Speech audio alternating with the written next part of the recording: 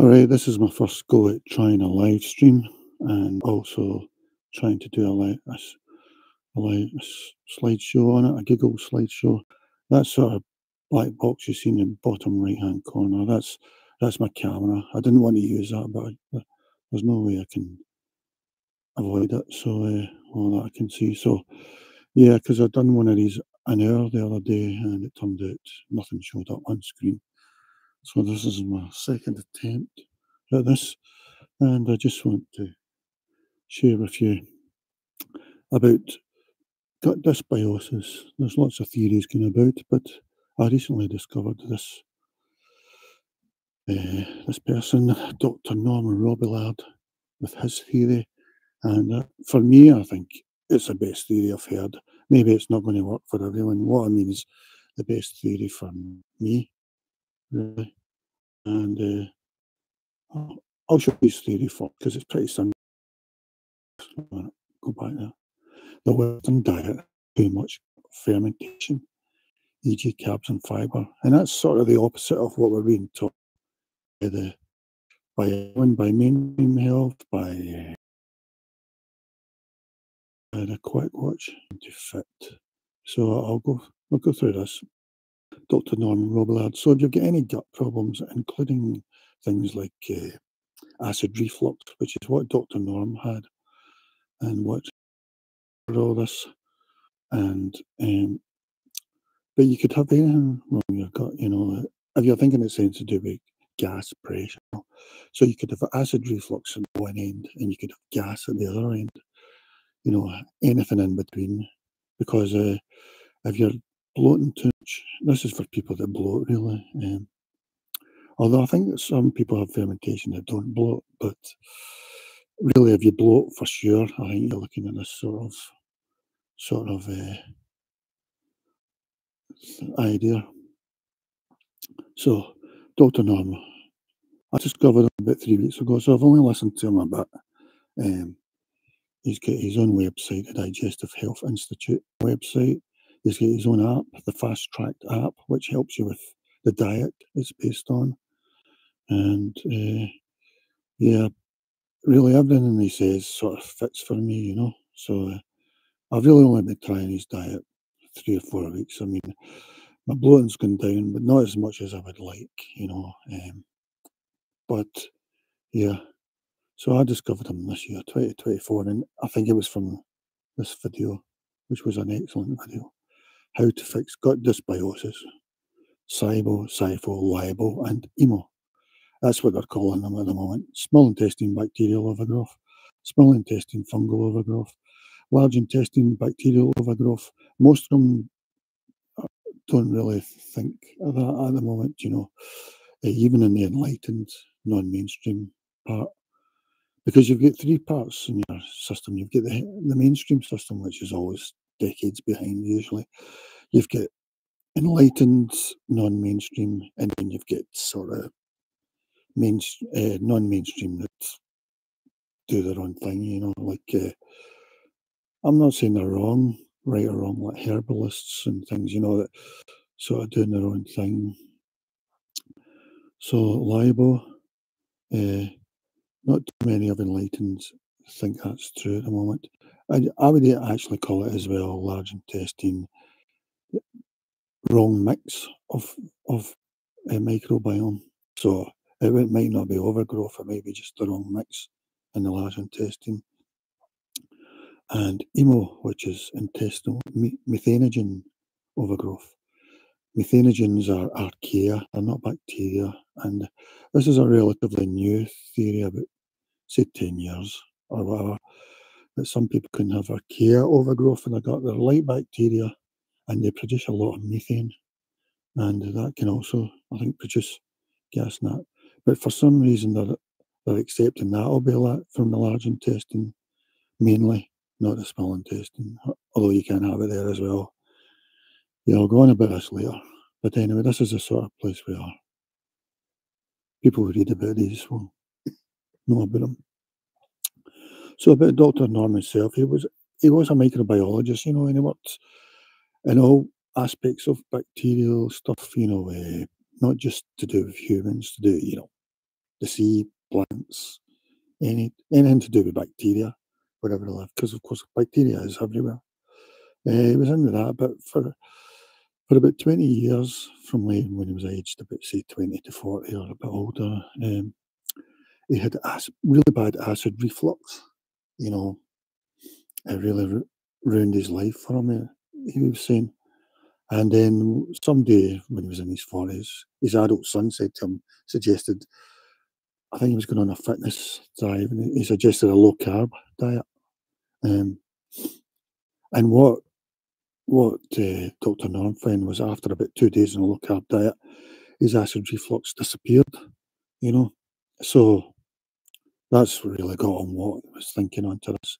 It's an amazing story, really. He tells it a lot. He's, he's on YouTube a lot.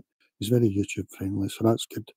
Not only his own channel, but uh, on other people's to do with SIBO and things like that, dysbiosis. So he's very open spreading his message, you know. Uh, so he done that, eh, and he, he got rid of his own acid reflux. So he was thinking about it, and then he, then he, because he was a microbiologist, he realised that fermentable carbs produce a lot of gas. And so he was wondering, well, is it the gas from the bacteria eating my poorly digested carbs or fermentable carbs? Is that what it is? And uh, that's what he's thought ever since. So that's his theory, really. That ferment, we eat too many fermentable carbs, it gives us dysbiosis and we get all sorts of problems because of it. And the way to solve it is uh, to keep a, a low fermentation diet, a low of those fermentable carbs. I would say, personally, I would say avoid fermented stuff as well, but that's just my opinion. I don't know if he agrees with that, you know, like yogurt and probiotics and uh, sauerkraut, definitely in the early ones anyway. I think that diet, it's taking it for 12 weeks. Not Dr. Norman, I just mean the ordinary side of that. Um, I think Dr. Norman feels that follow his for he wanted. So he wondered and he eventually thought if it was gas in the intestine, that this, the, this, the gas caused by carbs. And so for the last 20 years, he's promoted that.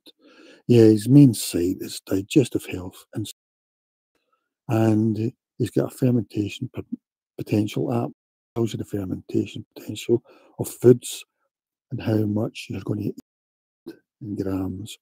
And he calls it the fast track diet.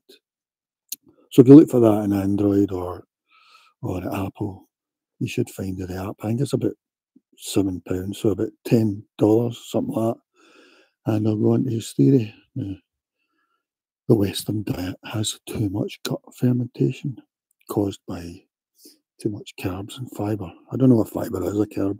Is that that? Anyway, yeah, that's his theory. And that's sort of the opposite of what we're being taught, you know, because we're being taught we need to eat more fiber and more complex carbs. We need more for a, for a good microbiome. But he's actually saying we're probably overfeeding it. And uh, I feel I agree. I agree with him. You know, at the moment, I was coming to that concept myself as well from experiences of like drinking Yakult and things like that. Because Yakult makes me really ill. Not just one go, just when I'm taking it daily. I can feel it sort of creeping up my neck, sort of migraine pain, or whatever you want to call it. I think it's just, I am actually giving myself D-lactate acidosis, you know, and that's what sort of made me think, well, maybe probiotics and all that aren't good for me either, you know?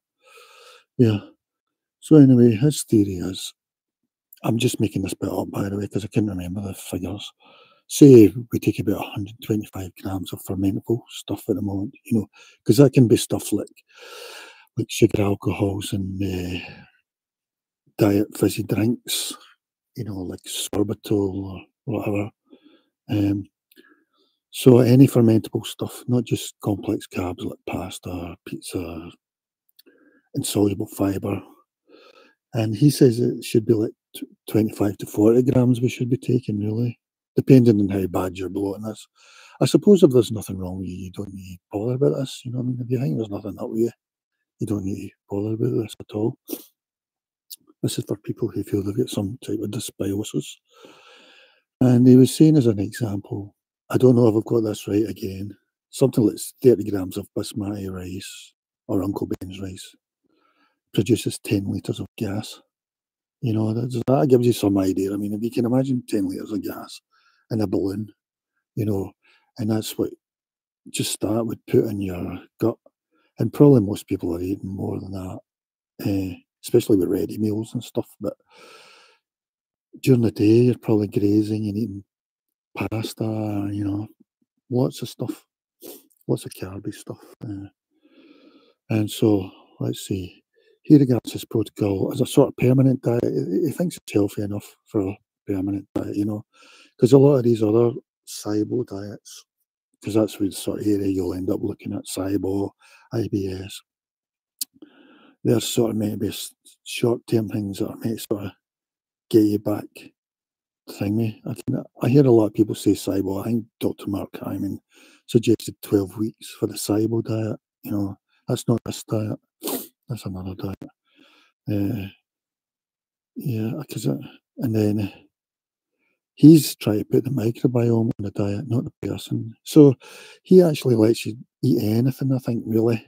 But if you're eating the sort of stuff with a high fermentation potential, he reckons you should keep it low or avoid stuff or swap it for other stuff that you could. Because apparently, jasmine rice has got a fermentation potential of zero, whereas basmati rice and white rice or even brown rice probably yeah brown rice is more less easy to digest than that so that's like 24 fermentation points which is one of the highest i saw in his list i've not seen his whole list yet because i've not it up um, so he's suggesting that maybe the problem in many of the dysbiosis category. I think everybody should be looking at this, you know, who feels got IBS, SIBO, acid reflux, um, you know, all these things, the constipation, all these sort of things. And yeah, an interesting point is he believes in LIBO, which is large intestine bacterial overgrowth. You could call it colon choline overgrowth or choline dysbiosis. That would be two different things. They could be the same, but you're seeing it's probably a lot of people have got too much overgrowth in their large intestine. Mainstream medicine don't really believe that. No, don't believe that at all. Uh, enlightened non-mainstream, a lot of them never talk about it either. It's never listed on SIBO sites or not often. So a lot of them still don't think of that. I think it's actually the root of the problem. I think most people, it's starting off in the colon with overgrowth or dysbiosis, and then it's moving up to the small intestine, or it might even just stay there and be bad enough. But I think that's what's happening, really, especially if you've got a bloated, bloated gut. You know, if you've got a bloated gut, there's something wrong. Um, so what's he saying? especially if you think it's to do with diet. Yeah, so short intestine bacterial overgrowth, no, small intestine bacterial overgrowth, small intestine fungal overgrowth. See, I believe in large intestine fungal overgrowth as well. I don't know if anyone else does, maybe not even Dr. Norm. Um, but I believe you probably can get candida, mainly candida albicans. That's the main type of fungal overgrowth we get. I mean, we've all got a bit of fungus in our in our gut, but not mine. It's maybe well under control, but once it gets out of control, so I think you can get that in the large intestine as well. But even Dr. Norm doesn't mention that at the moment. Then this sort of new one, intestinal methane overgrowth. So the SIBO community are accepting that this could be the large intestine and probably is mostly but it can be up in the small intestine as well. So they're believing that. So that, that would mean if you wanted to take a test for that, you'd probably need to test a lot longer than 90 minutes, which is usually what a SIBO test is, because it takes about sort of 60 minutes for your food to, to leave your small intestine to move into your colon. maybe 60 to 90 minutes. You know, if you eat a meal, you know, a big meal or whatever. So I would guess you'd need to test longer than that after a meal. Um, so it's good that they're starting to accept that. I think the the non-mainstream enlightened community believe they take as a reference point for SIBO as the work done by the Pimentel lab in Los Angeles, the, the university there, California or whatever. The, it's led by Dr. Mark Pimentel. Um, he's been doing a lot of work on this for 20 years, 25 years. And so he's the sort of reference point for small intestine bacterial overgrowth. He also believes in the intestinal methane overgrowth. I think maybe even he was the one that sort of put the idea forward. And he's also put an idea forward we need to look out for hydrogen sulfide bacteria overgrowth as well. Uh, so far, he said in about 10% of cases that he tests that are SIBO positive, something like that. Or maybe that was Candida I was talking about, because I think he believes in Candida, but he doesn't seem to test for it yet. He, has got a Trio Smart test, and I think he's the only one known to test for hydrogen sulfide at the moment. Um, but it's really expensive, so you've got to send a sample to the lab and I, I don't know. I mean, to me, if you want to test for cybernite, you should be looking at uh, the FoodMarble, Food Marble uh, device that you can use from home.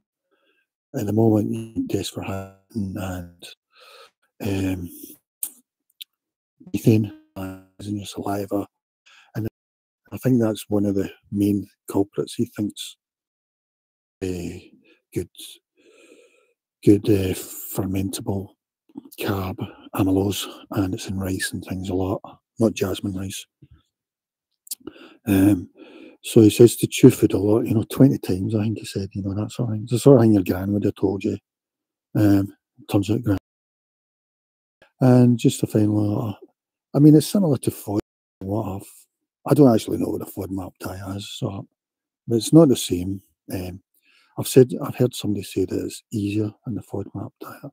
I think FODMAP means fructose, oligosaccharides, disaccharides, monosaccharides, something else, protocol.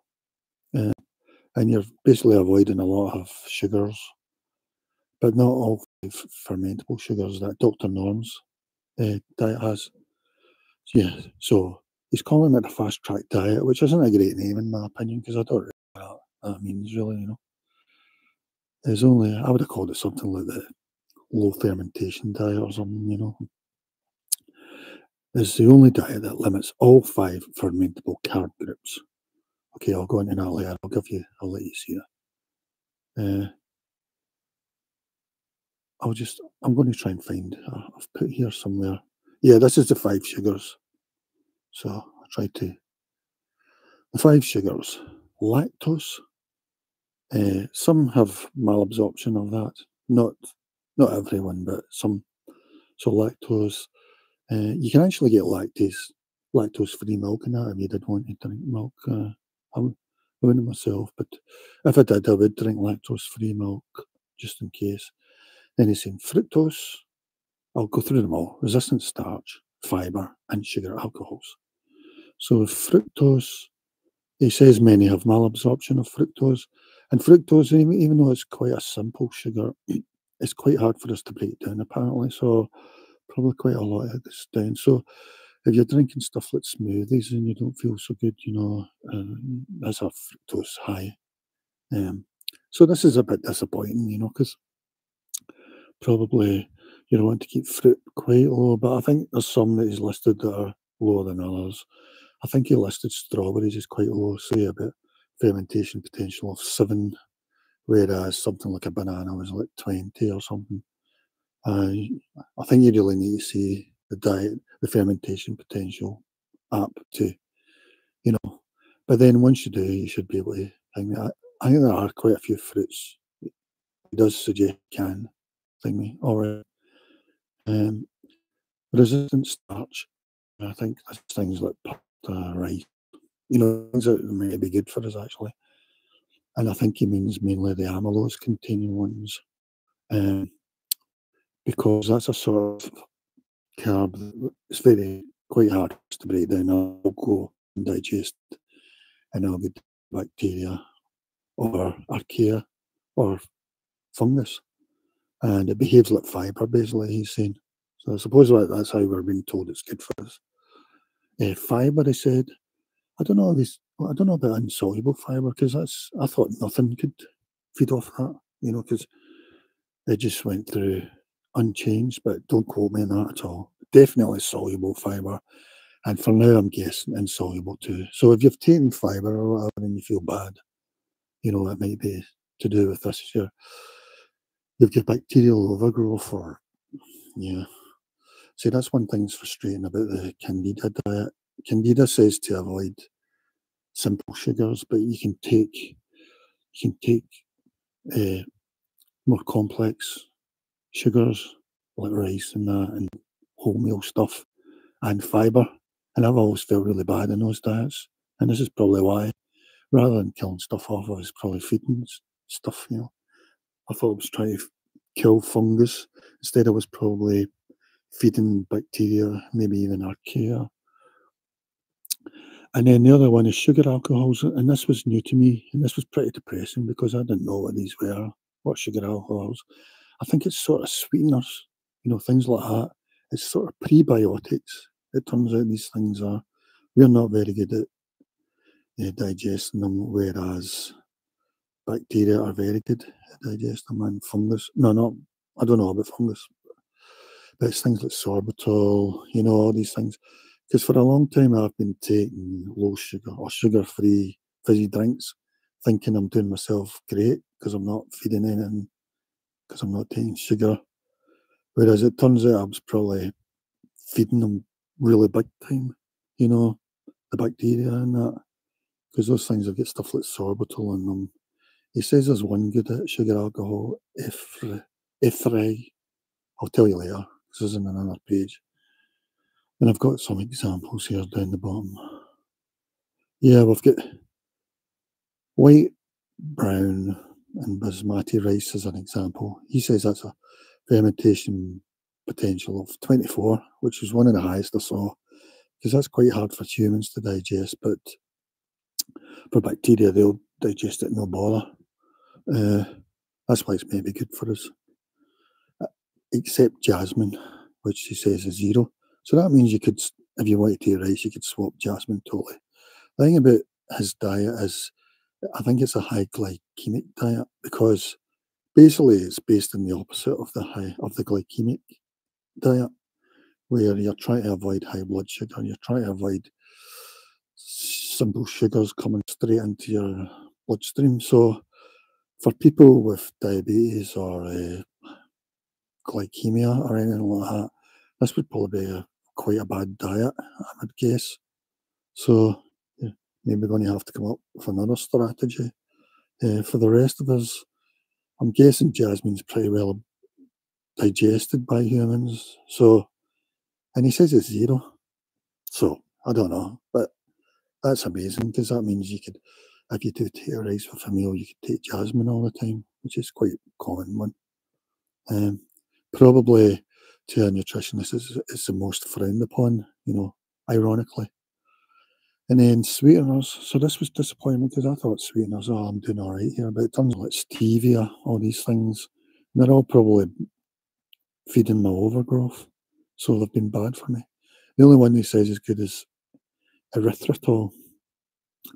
And so I think that's got a very low, maybe even zero for fermentation potential. So that's something you could work around to make, I mean, sweeten up your thing. But personally, what I'm taking from this thing is, is that simple sugars are okay to an extent, you know, like glucose or not so much sucrose because I think that's part glucose, part fructose. Um, uh, but probably better than sweeteners because that's probably, we don't digest them at all, probably. Um, I'm talking about fermentation potential. So probably you could take stuff like glucose, uh, uh, dextrose because people that go on that SIBO elemental diet, which is the strictest of the SIBO diets, they take glucose or some very simple sugar amino acids rather than protein. I, I, I don't know. They take they take some sort of fat as well. They must. Uh, but what they're trying to do is they're trying to make zero fermentation diet. That is really almost because it's your upper small intestine where most of the digesting absorption takes place. So if you've got small intestine bacterial overgrowth, your small intestines may be pretty bacteria free because any bacteria there is competing with you for your food. But uh, you do have a bit down at the lower end of your small intestine, so lactic acid. Only a bit though, because people with short testing keep getting lactic acidosis. That's people who have got a short intestine. I mean, very few have that, and you'll you'll have been told something you're born with, really, you know. And they keep getting D-lactic acidosis, and they end up in the emergency room. It could kill them. It can be fatal. D-lactic acidosis because it's different from the lactic acid that you build up when you exercise. That's L-lactic acid, and that's easier for your body to remove. It's not that easy if you, you know, if you know yourself the next day how bad you feel. That's L-lactic acid. But with this D-lactic, it's even harder for the body to metabolize. So if you're if you're doing anything that's creating a lot of D-lactic acid in your body, you're going to feel bad like I did with Yakult, basically. And I felt that way with all the, know, Actimel. I felt it with all those sugar shots, those yogurt shots. Probably I get it from uh, yogurt as well. I think uh, the fast track diet suggests that you can take plain yogurt, but I wouldn't personally. I'm, I'm avoiding anything that's too acidic. Uh, it's too fermented foods. I'm not just I'm not just keeping low the ones that are uh, you know get carbs that feed bacteria in your gut. I'm missing anything that's get it's low acid, like apple cider vinegar, anything that's fermented, sauerkraut, kefir, you know these sort of things. Yeah, so I've I've put fermented foods there. I don't know if he agrees with that. Uh, fiber, I think he agrees with that. Uh, I don't know about insoluble fiber and complex carbs. Well, they're the, they're the main culprit, really. I would have thought. Know, them and sweeteners. It turns out, you know, hmm, I don't know. Yeah, here's some interesting points, but maybe they're not that interesting. In fact, the two lower ones are a bit. I think he said we don't need carbs. We can live without carbs. I, I mean, I don't quote me on that. I'm getting them wrong here or whatever. Because the three main foods are carbs, fats, and protein. If we need fats and protein, He's saying we don't need carbs because we can sort of get our energy and that from the others. But for most people, of course, uh, well, carbs are probably nice, but also if you're doing a lot of exercise and that, probably you want a lot of uh, quick energy, you know. I don't know if it's just energy we get from carbs, you know, but uh, that's the sort of thing he was saying. And then its fast track diet, which is Dr. Norm's diet, is only a diet that limits all five fermentable carb groups. So, although there's a lot of SIBO diets about, his is the only one that that limits all five fermentable carbs. I don't know about the ele- elemental diet because I think that almost everything's filled out of that, you know. But uh, I know, but I think he said that. Don't quote me on it because I've just I've I'm doing this in a state of excitement because I only discovered him about two weeks ago, and uh, I've only listened to about six or seven uh, things about him, quite a lot on his YouTube channel. So I've not totally absorbed what he's saying, which is a bit ironic when we're talking about unabsorbed stuff. So but I'm too excited. I have to tell you because really, to me, he seems a sort of the one that's totally on the ball, absolute closest to what makes sense to me. So he's a sort of guru at the moment for me, you know. Uh, okay, and what was the other thing I said there? Cows don't get any nutrition from grass. Yeah, I just I was fascinated when he mentioned this. Like when you see a cow eating grass, it's not actually eating it for itself; it's eating it for its microbiome, and then they, they produce short chain fatty acids, and that's what makes the cow healthy, basically. So if you took all the microbiome out a cow, it would die. because it, no matter how much grass it eats, it can't do anything with it because it's not got the digestive enzymes to do anything with it. It's actually the bacteria, and it's got. I think cows have got about five different chambers in their uh, gut. We've got three. We've got the stomach, which is a small preparation room, really. Food will be out there within 15, 20 minutes. That's probably, you know, when you feel that stuff's left after you've eaten, it's just left your stomach, really, probably, and moved into your small intestine. The small intestine, will probably stay in there till about, uh, well, maybe 60 minutes, depending how big a meal is, how complex it is. So, uh, yeah, that that's maybe quite microbiome free, say maybe the bottom but because any bacteria or fungus in there would compete with you for the food and produce their own metabolites, which are probably toxic, you know, or not always, but sometimes, you know.